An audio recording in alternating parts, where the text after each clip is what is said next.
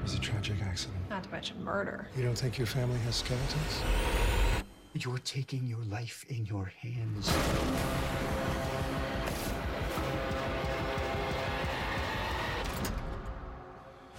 Nancy Drew, new episode next Wednesday at 9, 8 central, only on the CW.